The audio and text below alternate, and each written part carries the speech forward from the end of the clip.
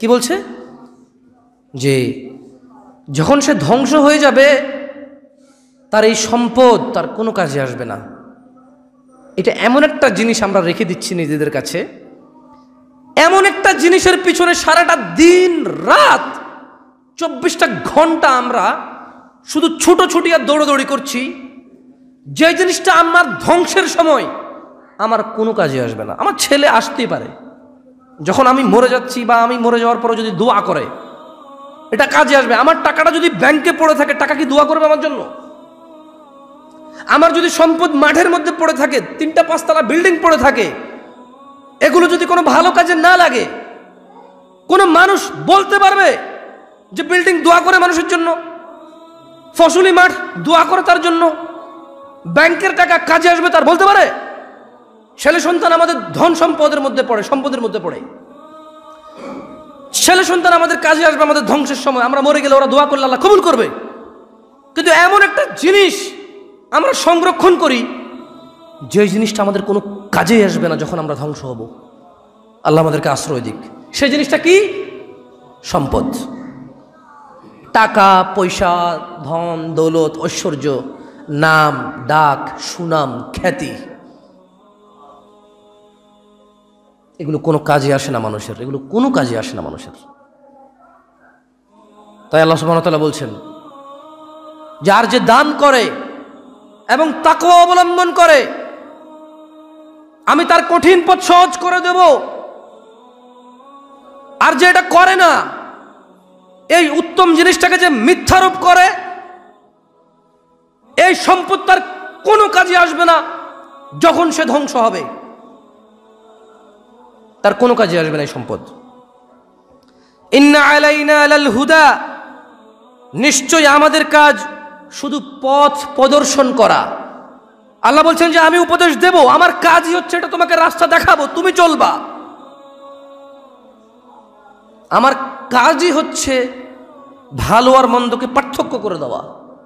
আমার কাজই হচ্ছে হালাল আর হারামকে পার্থক্য করে দেওয়া। আমার কাজই হচ্ছে হৃদায়তের পথ দেখাবো এটাই আমার কাজ। এটা কার কাজ? আল্লাহ সুবাহন তালার কাজ। তাহলে হৃদায়তের পথ কি? সলা জাকা হজ, দান, সদাকা, সদ্ব্যবহার, আকিদা, আমাল ইমান এগুলো হচ্ছে হৃদায়া। এগুলো কি? হৃদায়া। অসৎ পথ থেকে বেঁচে থাকা, সুদ না খাওয়া, ঘুষ না খাওয়া, জেনা না করা, মদ না খাওয়া, মানুষের সাথে দুর্ব্যবহার না করা, এগুলো হচ্ছে হৃদায়ের কাজ। এগুলো হচ্ছে হৃদায়া। আল্লাহর কাজই হচ্ছে এটা ভালো এটা ভালো, এটা মন্দ। পার্থক্য করে দেওয়া। বাকি মেনে চলার দায়িত্ব কার? আমাদের। ইন্না আলাইনা লাল হুদা। নিশ্চয়ই আমাদের কাজ শুধু পথ নির্দেশ করা।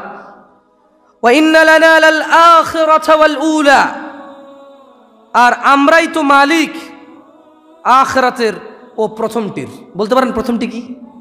আখরাতের প্রথম কি? দুনিয়া। তাহলে আল্লাহ কি বলছেন? আমার কাজ হচ্ছে পথ নির্দেশ দেওয়া, যে এই দিকে যাও এদিকে যেও না।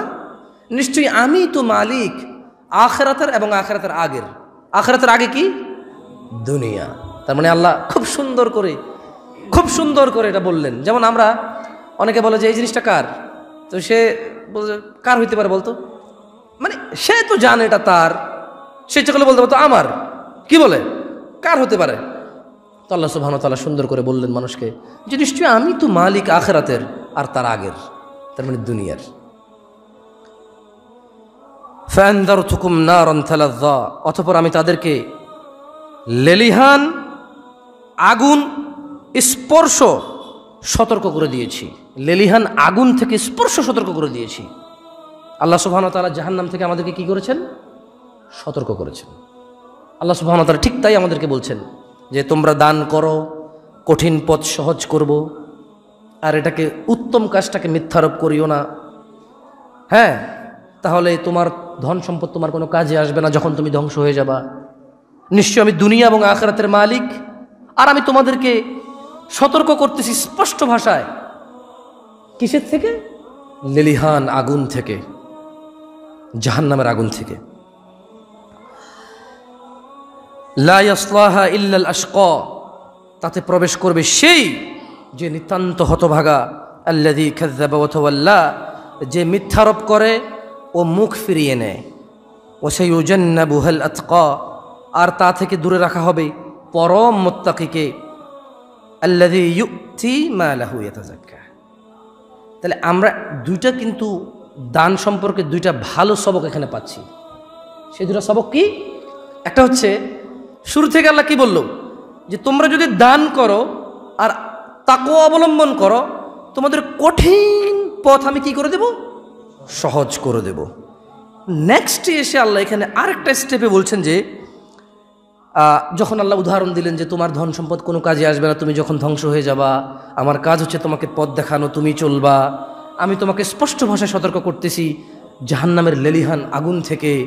এরপর আল্লাহ বলছেন যে আল্লাহ দি উথি মালাহু ইয়াথাজাক্কা আল্লাহ এর আগে বললেন যে, ওসাইজান্নাবুল আতকা, যে আল্লাহকে ভয় করে তাকে অবলম্বন করে, আল্লাহ জাহান্নামের আগুন থেকে অনেক দূরে রাখবে। কাকে?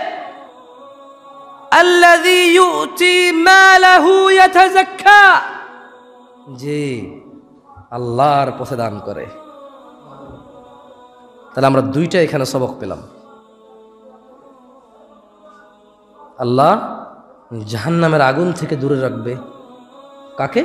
মুত্তাকিকে। তো মুত্তাকিকে অনেকগুলো কাজ করে মানুষ মুত্তাকি হতে হয়। একটা কাজ বিশেষ, অসাধারণ একটা কাজ হচ্ছে দান করা। আল্লাহ মাল। এতক্ষণ আমরা বলেছি আমাদের ছেলে সন্তান আমাদের সম্পদ। আমরা বলেছি মেহমান আপ্যায়ন করা সদাকা, মুচকি হাসা সদাকা, সালাম দেওয়া সদাকা, ভালো পরামর্শ দেওয়া সদাকা। কিন্তু কোন সদাকা করলে আল্লাহ জাহান্নামের আগুন থেকে তাকে আশ্রয় দিবে। আল্লাহ ওয়াদা করছে সেটা হচ্ছে আল্লাহ যে তার সম্পদ থেকে দান করে আল্লাহর পথে এবং যে নিজেকে পরিশুদ্ধ করে। কিসের মাধ্যমে পরিশুদ্ধ করে? মাল থেকে দান করে পরিশুদ্ধ করে।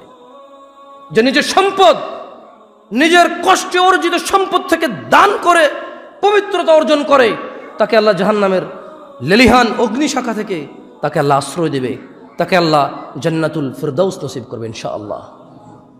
আমি দান নিয়ে আরও কিছু কথা বলব ইনশাআল্লাহ, সুরাটা শেষ হয়ে যাচ্ছে প্রায়। এবং তার প্রতি কারও এমন কোনো অনুগ্রহ নেই যার প্রতিদান দিতে হবে। মানে দেখেন, দান করার জন্য রিজন লাগে না, কি লাগে না? দান করার জন্য সবচেয়ে বড় রিজন হচ্ছে লোকটার প্রয়োজন। আপনার আত্মীয় হইতে হবে জরুরি না। আপনার পাড়া পাড়া প্রতিবেশী হইতে হবে জরুরি না। আপনার পরিচিত অথবা এর থেকে আগে কখনো উপকার পেয়েছেন, এরকম হওয়াটা কি? জরুরি না। আপনি দান কাকে করবেন? দান কাকে করবেন? যার প্রয়োজন তাকেই কি করবেন? দান করবেন। তো দিনী ভাইরা আমরা বর্তমানে যদি আমাদের কাছে কেউ কোনো সাহায্য চায়, কেউ তো আর টাকার অঙ্ক বলে সাহায্য চায় না, চায়? আমরা নিজেরাই ঘাবড়ে যাই। দেখবেন অনেকে আমাদের কাছে সাহায্য চায়। কেউ টাকার অঙ্ক বলে না। বলে যে, একটু বিপদে আসি পারলে কিছু দিও। আপনি নিজে থেকে আইডিয়া করে নেন যে, একশো টাকা দিলে আবার কি মনে করে? এত বড় পয়সাওয়ালা মানুষ ছিল, হঠাৎ বিপদে পড়ছে। বংশীয় মানুষ, সম্ভ্রান্ত পরিবারের ছেলে, সম্ভ্রান্ত মানুষ, ব্যবসায়ী। একে দু চার পাঁচ হাজার টাকা না দিলে কি হয়? আবার কীভাবে বা একশো টাকা দিই, পাঁচশো টাকা দিই? দান কিন্তু কেউ সংখ্যা চেয়ে করে না, করে? যে, ভাই, আমাকে একশো টাকা দান করেন। ভিক্ষা করে। ওটাকে কি বলে? ভিক্ষা। যে ভিক্ষা দেয় সে দানই করল। কিন্তু যে চায় সে ভিক্ষা চাইলো। কিন্তু দান আপনি করবেন, আপনার সামনে প্রয়োজন আছে এমন একটা লোককে, তাকে আপনি দান করবেন। এটা ভিক্ষা কেন হইতে হবে? এটা ভিক্ষা কেন হইতে হবে? ওটা সদাকা, ঠিক আছে। আল্লাহ সুবাহ তাআলা যারা আমরা এখানে বসে আছি, যাদের আমাদের কাছে মনে হয় আমরা খুব অভাবে আছি, খুব সমস্যায় আছি, দান করা যাবে না। কি করা যাবে না? দান করা যাবে না। দান করলে ছেলে মেয়ের কী হবে? কালকে আমার কি হবে? কালকে যদি অসুস্থ হয়ে যাই। যেটা একটু আগেই বললাম আমি।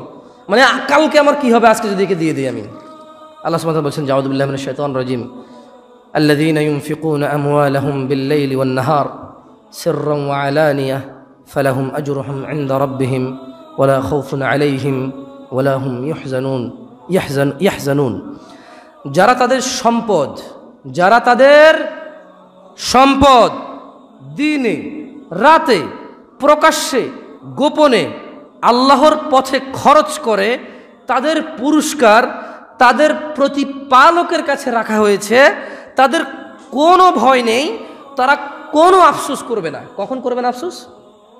মরে গেলে। ভয় থাকবে না কখন? ভয় কখন থাকবে না? মরে গেলে। যারা তাদের সম্পদ দিনে অথবা রাতে, প্রকাশ্যে অথবা গোপনে আল্লাহর পথে খরচ করে। আল্লাহ বললেন, কোনো ভয় নেই তোমাদের, কোনো চিন্তাও নেই, কোনো আফসোস করার কোনো দরকারই নেই তোমাদের। আজকে বাংলাদেশ না, সারা পৃথিবীর এমন একটা অবস্থা, এই করোনা চলাকালীন সময় মানুষকে, ব্যবসায়ীকে বেকার করে দিছে, চাকরিজীবীকে বেকার করে দিছে।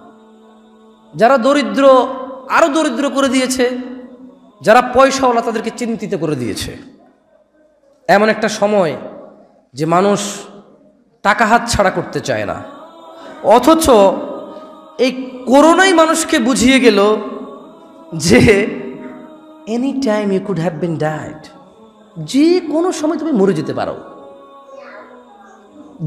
কোনো গ্যারান্টি নেই, খালি জ্বর আসবে, একশো তিন চারের উপরে উঠবে ডাক্তার ধরতে গিলটি ফিল করবে নার্স ধরতে গিলটি ফিল করবে, এই হাসপাতাল থেকে ওই হাসপাতালে দৌড়াবা, নিঃশ্বাসের জন্য অক্সিজেনের ব্যবস্থা করতে চাইবা অক্সিজেনের ব্যবস্থা হবে না, অথচ এই লোকটা এই মানে মৃত্যুর একটা মিছিল বলতে পারেন না?